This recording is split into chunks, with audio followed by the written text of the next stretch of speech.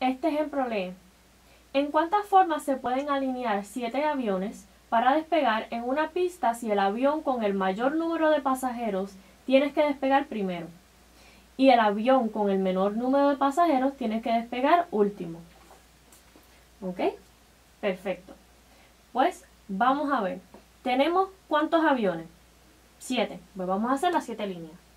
Una, dos, tres, cuatro, cinco, seis, La operación que va entre medio de cada línea es multiplicación.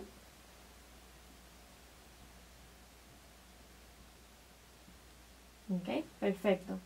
Ahora, acuérdense que tenemos que poner todas las opciones posibles en cada línea. Me explico. En la primera línea tenemos una restricción que tiene que ser que solamente el avión que tiene el mayor eh, número de pasajeros es el que puede despegar primero. So, aquí tenemos que poner avión más lleno. ¿Ok? Que viene siendo 1. En este ejemplo no hay dos que, que, puedan tener el mismo número de pasajeros, solamente uno. ¿Ok? Y tenemos otra restricción. El último avión que puede despegar tiene que ser el que tiene menos, eh, el menor número de, de pasajeros. So aquí te vamos a poner avión menos lleno. ¿Ok? Perfecto. Tenemos siete. Siete eh, eh, líneas. ¿Ok?